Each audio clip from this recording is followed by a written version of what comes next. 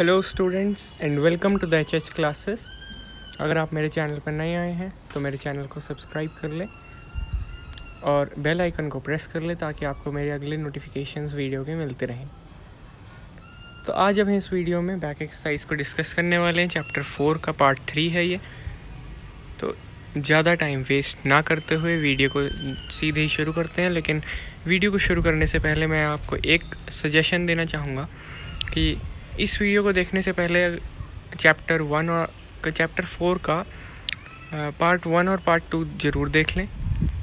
और एक वीडियो मैंने इससे पहले जो पोस्ट किया है five tips to score hundred out of hundred in French वो भी ज़रूर देख लें उनमें, और जो फाइव टिप्स हैं, उनको ज़रूर फॉलो करें।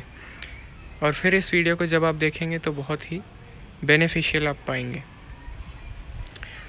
उन सभी वीडियोस के जो लिंक है वो मेरे चैनल में मिल जाएँगे वीडियोस मिल जाएँगे, आप सीधे उनको देख सकते हैं।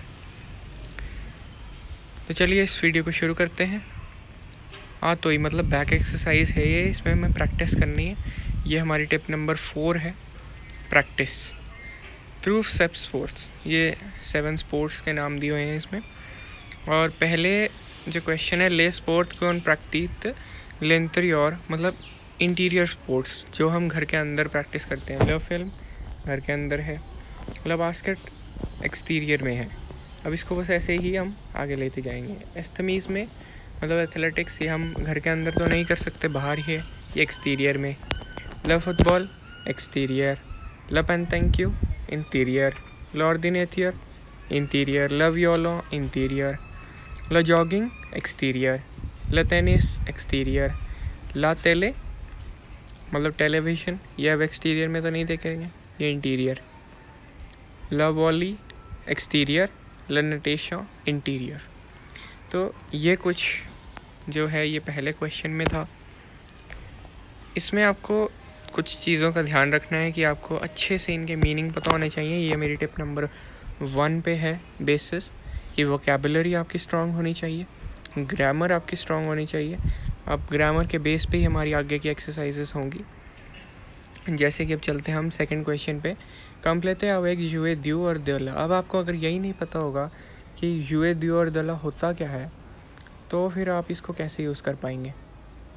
अगर आपको ये नहीं पता है तो आप मेरे चैप्टर फोर के पार्ट वन और पार्ट टू को ज़रूर देखें पहले। ग्रामर को समझें वोकेबलरी को याद करें, तब इस वीडियो को देखेंगे तो बहुत ज़्यादा फ़ायदा होगा। और आपकी प्रैक्टिस भी बहुत अच्छे से हो जाएगी। अब यू ए द्यू और दला लगाना है हमें, जिनको ये कॉन्सेप्ट का पता है, वो बहुत आसानी से इसको पकड़ लेंगे। पियर डैश गिटार में य डैश बातरी अब ये हमने जो पैसेज पढ़ा था पार्ट वन में, ये उसके आधार पर है क्वेश्चन उसमें जो हमने चीज़ों को रीड किया था और ग्रामर को किया है, उसके बेस पर ये क्वेश्चंस हैं। अब हमें बताना है कि गिटार मैस्कुलिन होता है या फेमिनिन होता है, ये सिंगुलर है प्लूरल है, इस सब के बेसिस पे हमें द्यू दला, ये सारी चीज़ें बतानी है। और ये सारी चीज़ें जिसको बिल्कुल भी बेसिस नहीं पता है, उसको कोई टेंशन लेने की ज़रूरत नहीं है। मेरे चैनल पे सारी वीडियोस अपलोडेड हैं इसके बारे में। चैप्टर वन से आप स्टार्ट कर सकते हैं और पार्ट वन पार्ट टू ऐसे करते करते आप चैप्टर फोर पे पहुँचेंगे तो बिल्कुल आपको कंसेप्ट क्लियर हो जाएँगे प्रैक्टिस हो जाएगी और आप बिल्कुल अच्छे से इसको कर पाएँगे। लेकिन उन सब वीडियोस को देखने से पहले एक वीडियो आप ज़रूर देखें फाइव टिप्स वाली। क्योंकि उन टिप्स को जब आप फॉलो करके वो वीडियो देखेंगे स्टेप्स को तो वो आपका जो पढ़ने की जो एबिलिटी है वो बहुत अच्छी हो जाएगी फ्रेंच की। अब कंप्लेते अब एक यूए द्यू दला अब इसके, इससे कंप्लीट करना है। पियर गिटार गिटार के साथ आएगा। द ला क्यों आएगा?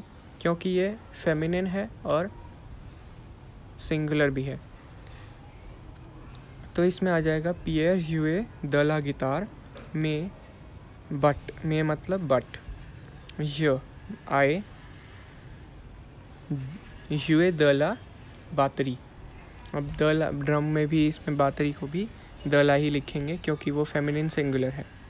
फिर एरिक पियानो के साथ लगाना है हमें। एरिक यूए द्यू पियानो, क्योंकि ये मैस्कुलिन सिंगुलर है। ए सॉन आर्मी मतलब हिज फ्रेंड यूए द ला ट्रम्पेट मतलब वो ट्रम्पेट बजाता है, उसका जो फ्रेंड है।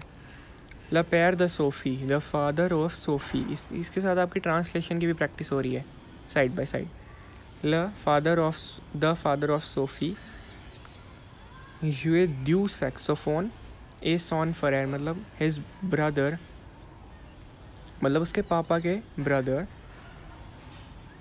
यूए ड्यू वॉयलन इसमें भी वॉयलन आएगा, दोनों ही मैस्कुलिन सिंगुलर हैं। अब चलते हैं हम थर्ड क्वेश्चन की ओर। थर्ड क्वेश्चन का भी जो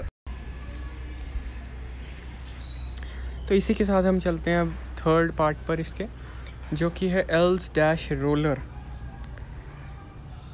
इसमें आएगा अब एल्स डैश रोलर मतलब वो रोलर स्केटिंग कर रही है। क्या कर रही है? स्केटिंग कर रही है। करने को क्या बोलेंगे? टू डू टू डू को फ्रेंच में क्या बोलेंगे? फेयर बिल्कुल ऐसे आसानी से करते जाओगे अब आप। फेयर ड्यू रोलर फेयर ड्यू रोलर और द्यू, अब यह सारी चीज़ें आपको दो, द्यू, दला, ये आपने पिछले चैप्टर में भी, उससे पिछले में भी, इसमें भी कर ली हैं तो ये आपको अब समझाने की मैं आवश्यकता नहीं समझता हूँ। और अगर फिर भी आपको कहीं दिक्कत आती है तो आप ऑलवेज़ मुझे मेल कर सकते हैं या कमेंट में बता सकते हैं। यूएंट ड्यू गोल्फ इल्स यूएंट ड्यू गोल्फ क्यों यूएंट क्योंकि वो गोल्फ खेल रहा था। खे, क्या खेल रहा था?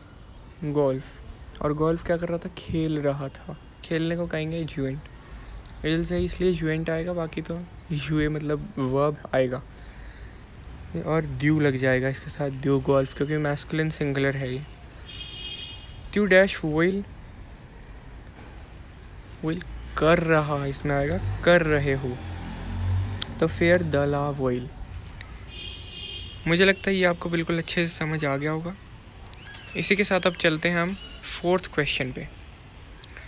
ये फोर्थ क्वेश्चन कुछ भी नहीं है, सिर्फ़ एक इमेजिन करना है कि हम एक फॉर्म भर रहे हैं और इसको हमें भरना है।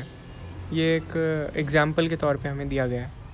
नॉम प्रिनॉम मतलब नेम और वो लास्ट नेम लिखना है हमें। लेकिन इसमें ना उल्टा होता है। नॉम में हमें वो लिखना होता है अपना लास्ट नेम और प्री नॉम में फ़र्स्ट नेम जैसे कि फॉर एग्जांपल डोनाल्ड ट्रंप है तो ट्रंप डोनाल्ड आएगा इसमें। नॉम में ट्रंप और प्रिनॉम डोनाल्ड एज में अपनी एज लिखनी है, डेट द लाइसेंस मतलब डेट ऑफ़ बर्थ लिखनी है, नेशनैलिटी लिखनी है, जेंडर लिखना है अपना, एड्रेस, फिर सिटी, फिर टेलीफोन नंबर, फिर कुरियल फिर एक्टिविटीज़ कौन सी अच्छी लगती है मतलब हॉबीज़, यहाँ पर अपनी फ़ोटो चिपकानी है, जहाँ पर एक गर्ल की फ़ोटो है, फिर स्पोर्ट्स कौन से खेलते हो, प्रैक्टिस करते हो, सूडो। ये एक फॉर्म है, इसको आपको भर के देखना है अपने बुक में। और हो सके तो आप जैसे भी मुझे मेल करें B three four six nine zero one eight the rate ji mail dot com पर। उस पर मैं ये चेक करना चाहूँगा आपका। जो भी इंटरेस्टेड हैं करने के लिए, वो मुझे मेल कर सकते हैं। जो चेक करवाना चाहते हैं कि मैंने सही कर रहा हूँ कि नहीं। इस एक्सरसाइज को भी आप भेज सकते हैं, पहले भी एक्सरसाइज को भेज सकते हैं। मैंने पहले जो है फैसिलिटी नहीं दी थी, लेकिन अब मैं दे रहा हूँ। आप पहले वाले भी भेज सकते हैं। कॉम्प्लेते आवे कैल क्वेल कैल्स और कैल्स अब ये भरने के लिए ग्रामर में मैंने समझाया था, जिसने ग्रामर नहीं समझी, उसको ये समझ में नहीं आएगा लीवर क्या होता है अब? लीवर होता है हमारा मैस्कुलिन लेकिन यहाँ पर एस है तो मैस्कुलिन प्लूरल हो गया, इसलिए ये लग जाएगा Q U E L S क्वेल्स second पे चलते हैं नेशनैलिटी नेशनैलिटी तो उसमें एग्ज़ाम्पल में ही दिया हुआ था ग्रामर में। वैसे भी, लेकिन हमें पता होना चाहिए कि ये है फीमेल है। मतलब फेमिनिन है फीमेल नहीं फेमिनिन है और सिंगुलर है, क्योंकि इसमें एस नहीं लगा हुआ है। तो इसलिए इसमें आ जाएगा Q U E double L E फिर एन डैश मुआ सोमेनू। इसमें कैल आ जाएगा सिंगल एल के साथ, क्योंकि मैस्कुलिन की बात हो रही है और सिंगुलर है। फिर इंस्ट्रूमेंट में भी सिंगुलर आ जाएगा और मैस्कुलिन है, इसलिए वो कैल आ जाएगा सिंगल एल वाला। फिर फिफ्थ पार्ट डैश सौत ए कूलियर फेवरेट फिर कौन से आपको कलर्स फेवरेट हैं? कलर्स में ये, आ आ जाएगा हमारा डबल एल ई एस वाला क्वेल्स क्योंकि ये फेमिनिन प्लूरल की बात हो रही है। फिर सिक्स क्वेश्चन हमारे करने वाला नहीं है, क्योंकि ये एकुते ए रैली है। ये उसको सुन कर आपको मैच करना होता है, जो सीडी आपको मिलती है, वो यहाँ पर मैं अभी तो नहीं करा सकता हूँ।